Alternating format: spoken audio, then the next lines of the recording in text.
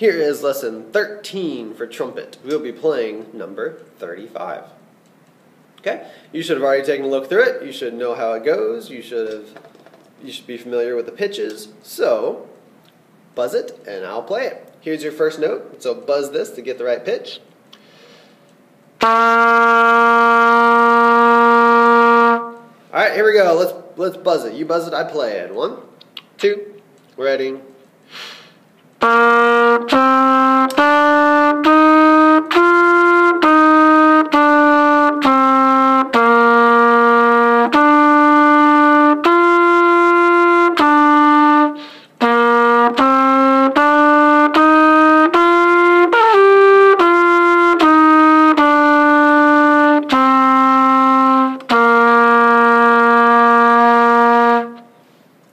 Now ask yourself when you buzzed each of those quarter notes going up and going back down, did, did your pitch match mine the whole time? If not, rewind and try it again. If you can buzz what you're about to play, then you'll be able to play it with no problem.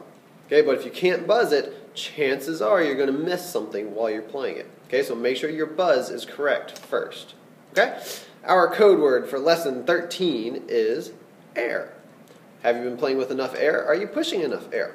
A lot of people play with air like this.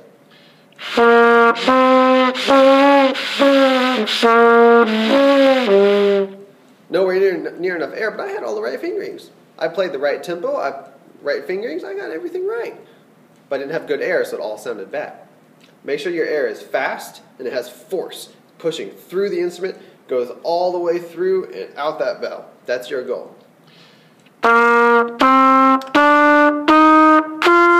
Okay, so I have lots of air going through your instrument. Okay, now put your instrument together and let's play line 35.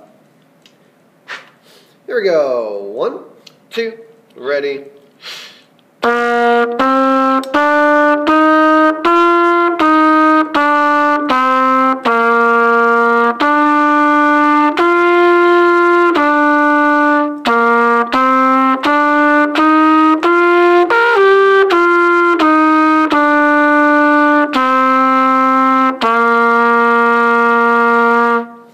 That was line 35, lesson 13. Thanks for joining me.